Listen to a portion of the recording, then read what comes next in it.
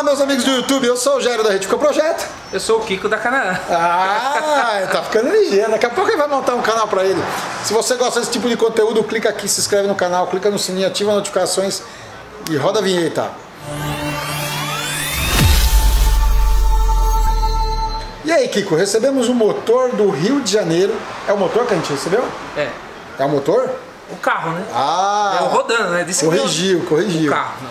Botando- Seguinte, é, esse motor veio para nós, a gente forne- fizemos um serviço nesse motor, que foi o roletamento do bala- do- dos balanceadores, né, do bloco do motor. Então veio para nós o bloco do motor com os dois eixos. A gente fez a nossa parte e começamos a trabalhar. Entreguei o motor pro cara, certo, Gerinho? Certo. E aí, com toda a confusão do planeta, virou um baita de um balaio de gato que o carro do homem não tem pressão de óleo Marcha lenta, né? na marcha lenta, né? E aí virou lá um lá, eh, o dono do carro está no Rio de Janeiro, mecânica, tudo que ele está se virando lá é Rio de Janeiro. E aí virou um jogo de empurra entre eh, quem retificou o cabeçote, quem montou o motor, e aí colocar, começaram a colocar eu no balaio também. Culpa de quem fez o. A culpa toda é de quem fez a roletagem.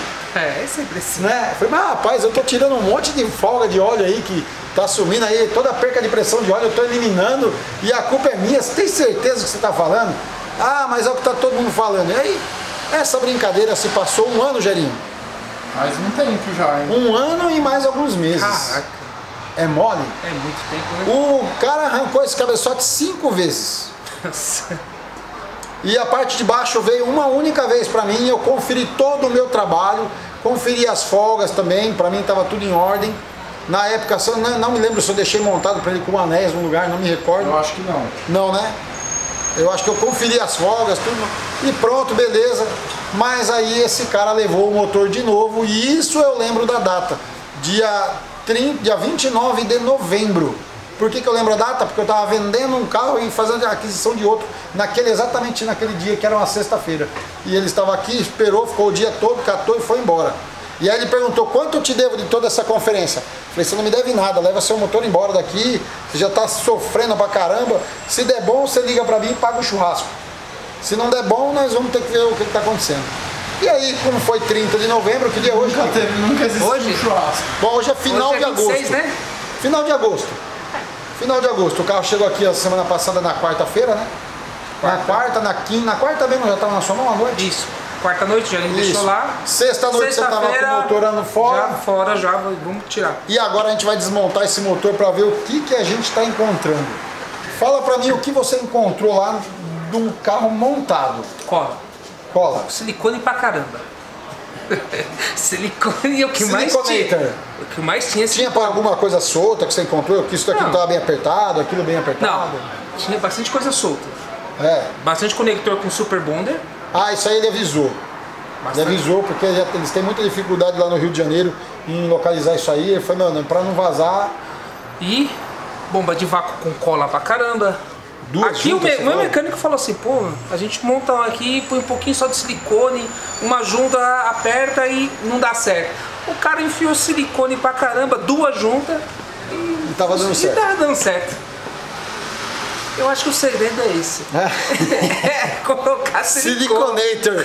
Olha aqui, galera. ser. Dá uma olhada nessa parte aí, ó. Esse carro vazava bastante óleo também, né? Vazava. Eu mandei um vídeo pra ele. De, Muito de- óleo. Muito óleo colocado aí no chão. Eu falei, rapaz, dá uma olhada. Não. E aí, sabe o que ele disse? Lá não tava vazando nada. Não, possível. Na oficina, dormiu de um dia pro outro, já vazou Ele tá desconfiado Muito que seja óleo. os 400 km que ele rodou do Rio pra Ah, cá. é. Aí, Pra você ter ideia, ele colocou lá um monte de óleo bom no carro, mais um, Um B12. um B12 e mais um, um- como é que chama? De, de alumínio lá de metal. É um condicionador de metais. Condicionador de De metal. medo pra vir com o carro rodando você. Veio a 90 km por hora, falou que o carro fez 14 km com um litro de e gasolina. não fundiu o motor, acendeu a luz de óleo. Exatamente. Então, o motor tá bom, na estrada é o importante, é? Não é- Exatamente. Ele desconfia o seguinte, que a parte de baixo é boa de lubrificação, a parte de cima é ruim. E aí, dou como- 100% de certeza que o cabeçote tá morto desse carro. É, Ah, se mexeram nos comandos, já sabe, né? Não sei, aí eu preciso ver. Nós estamos desconfiados daquela parte frontal da tampa de válvula, do- Também. É, dos, dos comandos de válvula. E aí, como aquela coisa, galera, você tá ferrado, né? O que, que é um peido pra quem. Pra quem tá cagado. Exato, aí a gente achou melhor não, mex... não tentar mexer arrancando só o cabeçote. Ah, o... pelo que eu conversei com o Kiko, o trampo de tirar só o cabeçote e o trampo de tirar tudo é quase a mesma coisa, né? Em tempo de É mesma obra. coisa. Então a gente É falou assim, ah, vamos arrancar tudo logo uma vez e já tenta, inteiro. já tem Até bom, certeza porque- de tudo, já até bom, confere porque pra tudo. limpar toda essa colaiada que tá aqui, ó. É, ia vamos ter que ver o que tá, como é que tá o resto aí Se agora. o né? carro vaza tudo isso de óleo também, já dá pra dar uma repassada aqui na parte do cárter, subcárter, tudo, já dá pra tentar montar isso bem melhor, né? Vai ter trabalho ainda. Tem trabalho, né? Tem, tem bastante. Bom, pessoal, nós vamos fazer a desmontagem desse motor aí ao vivo com vocês aí. Então é para vocês ficar fácil, Kiko. Agora, quando tiver tudo no esquema, nós te leva o carro de novo. Agora o carro lá ele fica na sua oficina ocupando espaço ou você manda ele pro estacionamento? Eu tenho um estacionamento, eu vou empurrar ele pro estacionamento agora. Vai empurrar pro estacionamento Vai pro e fica lá aguardando. Agora eu não voltar, porque senão. Entendi.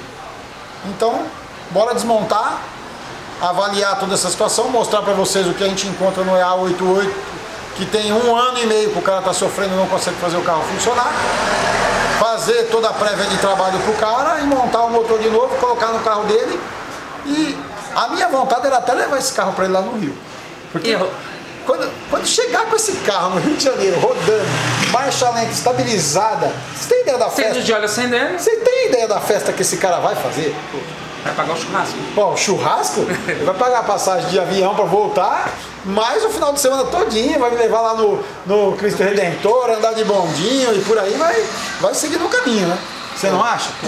Eu vou junto. Você vai também? Vou, vou. Ah, então tá aí, ó. Quem sabe? Vamos estudar essa proposta. Galera, vamos desmontar então para vocês verem o que você encontra aí. E a gente volta com o Kiko mais tarde, porque agora ele vai deixar o motor e dar linha.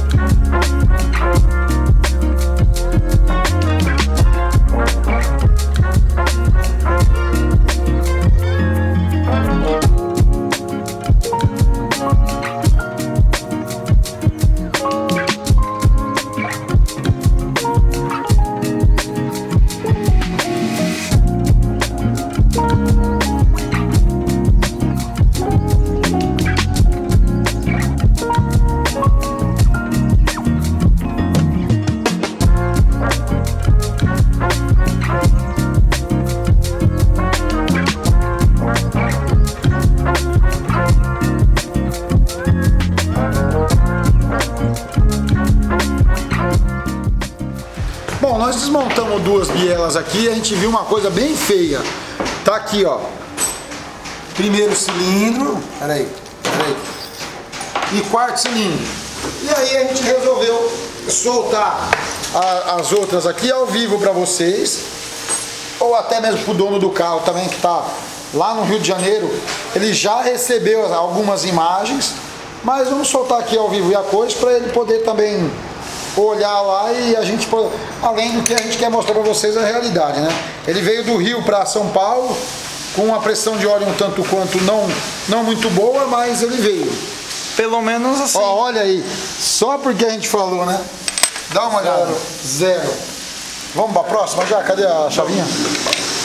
E assim, galera, detalhes da montagem, assim, a montagem tá meio bagunçada aqui, pra ser sincero pra vocês, tá? É muito parafuso diferente. A tampa frontal tinha parafuso estriado assim, tinha parafuso Allen, tinha parafuso Torx, tinha parafuso sextavado, Parafuso espanado. parafuso espanado. Aqui a flange do retentor traseiro tinha parafusinho, parafusinho de cabeça sextavada. Vamos lá, vamos olhar. Ó, ó, ó, ó. Olha a sujeira. Calma aí, você tá inclinado pra lá, eu não consigo enxergar. Olha onde estava a sujeira, galera. Bem ali, ó. Bem no furo de Ó, óleo. se eu voltar aqui, ó, ela vai de volta lá no lugar dela, ó. Aí, vai. Se eu voltar, ela vai lá no lugar dela, ó. Dá uma olhada aí, ó. Bem no furo de óleo. Por que, que você tem que desmontar um motor com muito, montar com muito cuidado e muito carinho? Tá? Tá aí, ó. É. E engraçado que as duas, a primeira e a quarta, machucou toda a bronzina. Essas aqui não, né? É. Mas talvez é uma questão de tempo. Ah, sim. É uma questão de tempo, isso é óbvio, né? Então, pessoal, muito parafuso diferente. Ali na. aquele. Vão quatro parafusos na frente do cabeçote que prende ali na parte da corrente. Também tinha parafuso com cabeça diferente. É, o, a flange do retentor traseiro tava com os parafusinhos sextavado, né? Que tinha tipo 3, 4 arruelas em cada parafuso para poder. Provavelmente o parafuso era comprido demais. Né? Poderia ter cortado o parafuso, não teria dado nada, mas colocaram um monte de arruela. Aqui colocaram parafuso comprido demais. É, aqui colocaram o parafuso comprido. Aliás, aqui a cola calçou, ó. Aqui a cola calçou o parafuso e quebrou. Os eixos balanceadores estavam soltos, tá? Os dois parafusos, o que vai aqui e o que vai aqui embaixo estava solto, tá? Então assim, bastante, bastante belzinho. Será que essa é a data que foi feito o motor, pai? 11 de 4 de 23? Isso aí eu acho que foi é, quando a gente mandrilhou aqui, ó, quando a gente já colocou o rolamento O aí. eixo, né? Os pistões estão bonitos. É, aquelas bielas ali, elas devem ter sofrido daquela forma, galera. Muitas vezes nem tanto por causa da pressão de óleo, e mais por causa da sujeira que a gente encontrou na bronzina.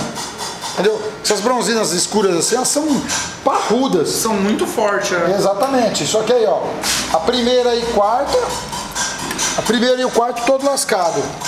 As, as do meio tá aí, ó, bonita. Então, quer dizer, não era uma folga ou às vezes até a própria pressão de óleo.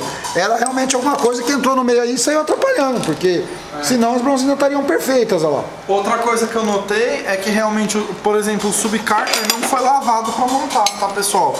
Assim, foi lavado, mas não chegou a tomar um banho químico. Olha como que tá a cara desse subcarter aqui, ó. É, isso é muito importante, tá? Muitas vezes você acha que isso aqui não é importante, mas no mínimo passar uma gasolina aí, tirar um pouco do, da sujeira aí, vai ajudar bastante. Porque às vezes você não tem condições de mandar lavar tudo, né? Aquela cola de diesel, aquela cola de contato aqui na bomba de Exatamente, ó. né? Poderia ter sido montado numa anaeróbica. A tampa de válvula aqui tá montada com anaeróbica. Lindo, maravilhoso. Exato. Porém, o comando tá todo comido. O comando tá comido aqui na ponta, dos dois lados, e a peça que vai aqui, o cavalete frontal também. É, Ele tá, condenadaço. ele tá até mais feio. Inclusive o parafuso que vai aqui não é o parafuso original. O parafuso que estava aqui. Né? É, aqui ó, a- a- o cavalete dianteiro. Não sei se vocês conseguem ver como tá cheio de riscos. Né? Então, cola pra caramba aqui no retentor traseiro. Né? Muita coisa espanada. Olha a cara desse tensionador. Ó muita coisa espanada. Tinha até um parafuso do pescador que eu deixei preso na bomba de óleo. A bomba de óleo parece ser nova, tá? Mas tinha um, o parafuso do pescador, tá tipo todo marcado de talhadeira, sabe? Então assim, poderia ter sido um pouco capri- mais caprichado a montagem desse motor, tá? É, tem alguns detalhes aí que, assim, que nem eu já falei pro meu pai, o dono do carro vai gastar um dinheiro aí de parafuso, porque eu vou trocar bastante parafuso. Parafuso de cárter, parafuso É. essas coisas, eu vou trocar todos. Não é tanto dinheiro assim também. Não, galera. mas assim, pelo que custa um parafuso, um, ele vai gastar bastante. A engrenagem frontal aqui, ó. Tava meio machucado. É, ela, ela tá em algum lugar aqui pra mostrar pra você. Eu acho que eu joguei ela dentro do saquinho. Ah, é? Jogou. Eu não queria melar mais a minha mão, mas vamos lá. Nós mandamos esse vídeo aqui pro cara. Que onde é que eu vi? Ah, aqui, ó. Essa engrenagem aqui, ó. Dá uma olhada como ela tá toda comida aqui, galera. Vocês estão vendo? E essa peça não tá encostada lá no final. É que vocês não vão enxergar por ali. Mas ela não chegou até o limite dela. Quem montou parou com ela aqui e levou a parada aí, ó. Lembrando que esse parafuso tava solto, tá? Esse parafuso É, aqui então. e esse aqui tava solto. Então provavelmente alguém ficou com medo de apertar ou de bater isso mais pra dentro, né? E quebrar essa aba, que é comum essa aba quebrar se você força demais. Ó, mas daqui dá pra ver um, um vãozinho ali, ó. Bom, eu vou precisar do flash. Eu vou precisar do flash porque eu vou, eu vou ter que apertar gravar para vocês verem. Então, para mim usar um flash de um de um como é que chama? De um iPhone 15 Pro Master Ultra Blaster, eu tenho que fazer assim, galera. Olha aí, Jairinho, filma aí, ó. Ou se alguém souber me ensinar, eu vou, não, não, agora não tem graça. O Samsung não tem graça. Olha aqui, ó. Eu tenho que vir aqui no escuro, apertar gravar, ó. Ah, agora ele abriu o flash, ó. Dá uma olhada aí, ó. Olha que maravilha. Aí eu venho aqui e mostro pra vocês. Olha lá. Ó, dá, dá pra ver ali que existe uma folga entre o entre a pecinha e o e o bloco do motor lá, vocês estão vendo? Ó. Dá pra ver que existe uma folga lá, tá vendo? Então aí, isso aqui, como isso aqui ficou pra fora, como isso aqui ficou pra fora, então essa engrenagem tá toda mastigada. Olha a engrenagem, olha aqui, já. Olha a engrenagem aí toda mastigada. Isso aqui fazia barulho, galera. Quando deram na partida, isso aqui começou. E ninguém viu, ninguém parou, ninguém nada. Entendeu? Tá aí, ó. Estão vendo? Por isso que às vezes é, é, pô, Jairão, eu retifiquei o motor inteiro com você aí, mas eu montei o motor e o motor ficou com barulho. E aí, você vai dar garantia ou não vai? Cara, traz aqui, velho. Ah, mas você cara, traz, traz aqui, cara. Não, vou ter que mandar o mecânico desmontar aqui. Traz aqui. Mas você não vai me dar garantia? De novo, eu tô mandando o carro ali. É, você não vai dar garantia. Cara, garantia do quê? Teu mecânico montou o meu serviço. Ele aprovou tudo o que eu fiz. Você tem que desmontar para ver o que ele tem, o que tem aí, pô. Simples assim. Só que a galera acha que montar o um motor é só sair jogando tudo para dentro, ó. Deu na partida, tá, ó, deu um barulho lá dentro. Liga pra retífica. Não é assim não, galera. Não é assim não. Mas vamos continuar aqui. Mancal agora. Mancal. Deixa eu pegar um torquímetro que tá danificado lá. Pelo menos apertado tá. É. Os da lateralzinha também eu já tinha soltado, também estavam apertados. Bom, lembrando que ó, eu não quero falar mal de quem montou ou de quem estava montando, quem montou cinco vezes, quatro vezes. Eu tô aqui e vou falar o que eu encontro. Ah, Gerão, então quer dizer que você é o, é o santo? Não, não sou o santo. Tô longe de ser perfeito. Só que o que eu fiz nesse motor aqui foi apenas colocar os roletes no bloco, nos eixos balanceadores, tá? Esse parafuso aqui ele já foi aproveitado um monte de vezes, ó. Dá uma olhada para a cabeça dele aí como tá. Ó. Deu para ver? É, então, mais 10 parafusos aí para conta do cliente. Não. E esse não, é, não é caro. Esse tava com menos aperto, ó. Porque o cara já tava desconfiado dele já.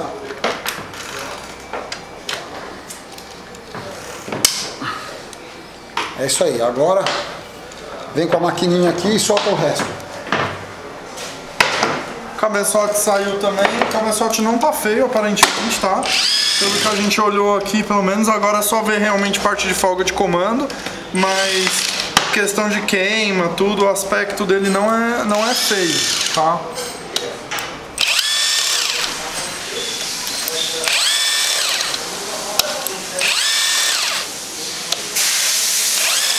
E o virabrequim, apesar de estar tá com aquelas bronzinhas lá, aparenta tá bonito, hein? Não sei como tá de medida ainda. É.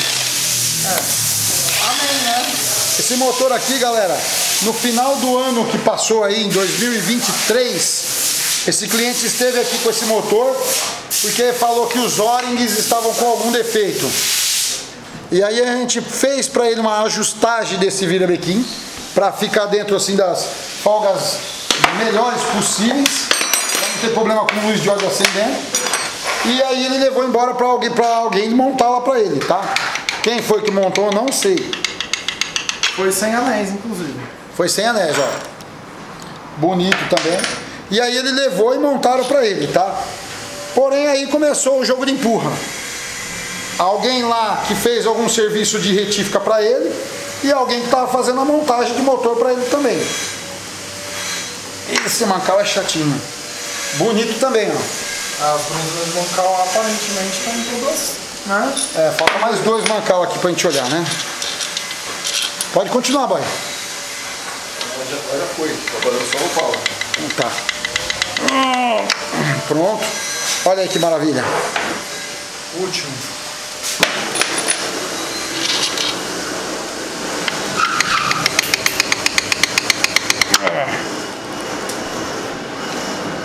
Aí, alguma sujeira apareceu por aqui, ó. Vocês estão vendo? Ó. Aí, ó. Alguma sujeira apareceu aí e marcou bronzinho, ó. Ó.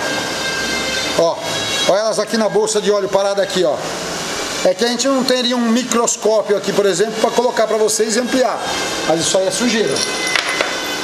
E agora a gente tira o vira e depois nós vamos tirar os, os eixos.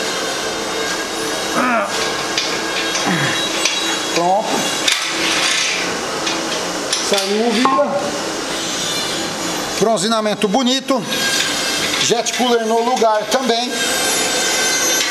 Mas eu tô. Da onde veio essa sujeira toda da minha mão? Foi depois que eu peguei o vira? É, o mancal, o, quarto, o quinto mancal ali, ele tava um pouco sujo que eu vi na câmera agora que você pegou. É, eu peguei E agora na mão. aqui, ó. Ah, tá. Tô vendo que eu catei aqui. Mas da onde tá vindo essa sujeira? Olha isso aí, galera. Ah. A gente fala, mas É ninguém. Foi exatamente o mancal que eu falei. Isso aqui é sujeira. Olha aqui, ó. Tem em volta de tudo, ó. Não dá pra saber se é cola, o que, é. Parece que até por baixo da bronzinha, né? A bronzinha Germany. Ó, a sujeira aí, ó. Eu tô desconfiado que isso aqui é aquela cola do. Cabeçote. do pescador. Não, do, aqui é cola Anaeróbico. anaeróbica. É engraçado que eu peguei, eu senti na mão, assim, ó. E ó, é o mesmo material, ó. Pode olhar aqui, ó. Ó, na ponta do meu dedo aqui, ó. É o mesmo material, ó. Na hora que eu tirei o mancal, eu senti esse monte de areinha aqui na minha mão. Entendeu? Vamos tirar os eixinhos. Deixa eu pegar aquele pano pra limpar minha mão.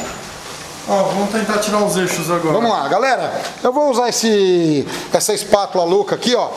Porque na verdade a gente não costuma desmontar isso aqui toda hora. Acaba mais. Vocês estão vendo, acho que o tanto quanto nós desmonta. Porque normalmente a gente não fica refazendo o trabalho aqui. São raros os motores que voltam para um retrabalho que a gente tem que fazer. Mas, e a gente então não tenho essa prática de ficar desmontando toda hora. Então, eu vou usar esse cara aqui. Vou encaixar ali atrás ali, ó. Vamos ver se encaixa lá. Ó, encaixou, veio facinho. Veio na mão. Opa, acho que eu vou ter que puxar mais um pouquinho aqui, ó. Pronto, só não tinha, só não tinha unha para puxar, tá? Ó, pera aí. Ó, já tô vendo sujeira aqui já, ó. Dá uma olhada, ó. ó. Tá, vamos lá. Vamos continuar. Ele pode estar tombado, pai. Como tombado, filho? Sair ele meio reto, sabe? Não, mas você quer ensinar isso pra mim? Vai. Aqui nós já temos uma pequena fuga de pressão de óleo. E aqui, não sei se estava assim ou aconteceu agora, né? Acho que aconteceu agora, porque senão ele estaria muito amassadão assim, né? Esse aqui tá estranho, né? É, esse aí.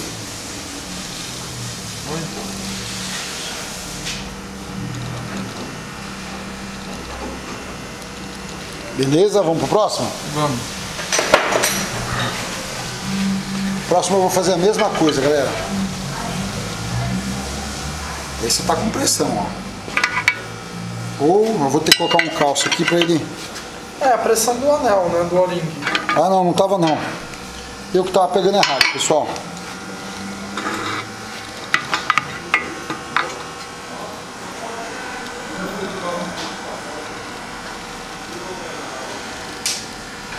O outro. Exatamente.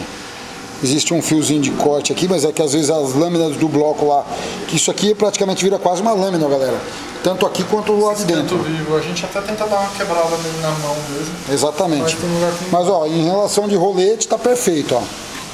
Tá? Aquele lá também tá?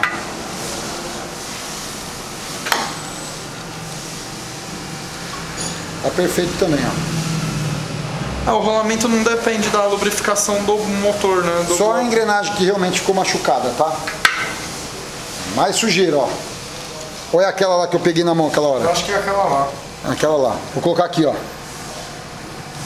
Tá? Bom, então desmontamos o motor. Eu diria que o principal passo é lavar tudo, tirar toda essa cola, Trocar, as medidas do vira. troca os anéis aqui dos rolamentos e eu acho que é isso. Depois de to- tudo bem lavado, claro. Sim. Bronzinas novas, né? Bronzina, é, mas tem que medir o vira. Se o vira for bom, bronzina de biela, bronzina de mancal, Pistão e anel, o carro não tem defeito nenhum, vamos- vamos ter que tirar essa medida. Aí, bomba de óleo era usada, que você falou, né? É usada, mas ela parece ser bem novinha, tá? É. Pela, pela sujeira que tinha no resto do motor, ela parece questão da gente abrir e ver se dá para aproveitar, que essas bombas de óleo são bem resistentes. Tá? Mas abrir e olhar, é, porque para te falar a verdade também, se for lá pro dono comprar uma nova, ele vai comprar, mas a nova só é boa se for comprada lá na Vux. Ah, mas eu tenho, eu sou ve- vendedor blaster do Mercado Livre e eu vendo essa. Cara, não briga comigo, não venha brigar comigo. Como já aconteceu uma vez, o cara ligar pra mim do Mercado Livre. Pô, você tá falando que meus eixos não presta nenhum. Cara, não é que não presta o seu eixo do Mercado Livre. Não presta nem o da Volkswagen. O vídeo que eu falei, tá aqui, ó, clica aqui e assiste vídeo. O vídeo que eu falo que esses eixos não prestam, eles são vendidos fora do motor. Os únicos eixos desses 100% nota 10 é os que saiu montado no carro funcionando. Não era isso? Ah, mas eu sou o Mercado Livre Premium e eu vendo tantos eixos desse por mês. Parabéns para você, meu amigo, que vende todos esses eixos aí. Mas se for parar para medir, eles estão errados. É, manda aqui que a gente mede e fala se presta ou não presta. Exatamente. É, bom, então é basicamente isso. Cabeçote precisa de dois comandos de válvula porque comeu ali na ponta. Não, né? estou desconfiado que talvez precise de um cabeçote, porque ele é feito um processo lá dele lá. Ah, Se ele- ele tem folga ou não tem folga, aí eu já não vou saber. Só que, uma vez que o cabeçote foi feito algum tipo de trabalho, a gente não sabe o centro desse comando, tá? Então, mesmo que o cabeçote seja bom, eu prefiro colocar um cabeçote que seja no formato original dos alojamentos. Pra quem não entendeu, galera, até onde é do nosso conhecimento a gente vai confirmar isso ainda. Mas aqui foi enchido de solda, aqui nos, nos mancais, né? E aqui no, bloco, no cabeçote foi aberto. Então aqui não, esse, o, o alojamento aqui não tá mais na medida original, ele foi aberto e aqui tá numa medida maior do que o original. Então provavelmente a gente, assim, vamos confirmar tudo isso, mas supostamente se isso for verdade a gente vai trocar o cabeçote inteiro. Precisa de outro desse novo. Ó, que lembrando, lembrando, quero dizer que o alojamento, quando se abre o alojamento, muitas vezes não causa nenhum problema no motor, no cabeçote, ao ponto de condenar o cabeçote. Então, de repente, você leva numa empresa, fala, ah, eu encho o comando e abro o alojamento aí, meio milímetro, um milímetro, sei lá quanto é que eles abrem aí. Qual é o problema? Nenhum. Nenhum deles que, tenha, que isso aqui permaneça no centro, nenhum. Porque se não permanecer no centro, eu vou exagerar para vocês. Essa peça ela não vai ficar mais assim no, no- no motor, ó no centrinho certinho. Isso aqui, quando isso aqui for parafusado, o comando pode estar querendo ficar aqui assim, ó, para cima e o outro também para cima e isso aqui não dá mais o centro. E aí come. Porém, obviamente que é muito difícil uma retífica causar um problema desse e matar uma peça como essa. Tá? Mas como o carro tem um baita de um histórico, amigão, vamos arrumar outro cabeçote, tá? Cola, vocês viram aí, tem algum um pouquinho aqui, ó. Só um pouquinho, né? Olha isso. Misericórdia, hein? Cara, é Carter Siliconator. também, Carter também. Bom, eu acho É, essa peça vai ser nova. Vocês viram aqui que ela tá, já sofreu impacto pra caramba. O, o- a porca que vai aqui também vai ser colocada uma nova. é, ela tá aqui. Isso aqui novo. Exatamente. Tava solta também. Tava, tava solta, exatamente. Solta porque o Jairinho tava lá procurando a ferramenta e eu vim, coloquei o punção, foi deu tanta pancada, vamos soltar lá batendo também. Quando eu coloquei a, ferra, a peça, ela rodou. Ixi, solta, porque até então você pensava que tava apertada, né? Bom, galera, Eu acho que pro primeiro vídeo, assim, um vídeo de desmontagem, eu acho que a gente conseguiu bastante conteúdo já, né? Dá pra mostrar exatamente tudo que tá acontecendo. No próximo vídeo vocês vão ver um pouco mais da execução, talvez da usinagem, tudo, talvez até a montagem, vamos ver. E aí posteriormente a gente vai, vai dando mostrar talvez esse carro funcionando e coisa do É, tipo. o cliente está extremamente disposto a fazer isso dar certo. Exatamente. né? Ele também já, ele já gastou muito dinheiro com esse carro, mas ele também falou, mano, eu preciso resolver minha vida nesse carro. Não, não adianta também eu ficar chorando Porque porque, ou é o carro ou é a mulher dele. é, ou é o carro Ou é o carro andando ou é ele separado da mulher, não é isso? Então ele precisa terminar logo Eu isso vou ver, eu aí. boto o carro pra andar porque eu tenho que levar minha mulher pra andar nesse carro, senão ela vai bater em mim. Exatamente. Então, espero que vocês tenham gostado desse vídeo. Se vocês gostaram, já entra aqui embaixo, se inscreve no canal, clica no sininho, ativa as notificações, deixa aquele like top. E se gostou, manda pros amigos. Se não gostou, manda pros donos de Jetta. Aliás, é Audi A3. É um né? A3 aqui. Manda pros donos de Audi A3. Tchau.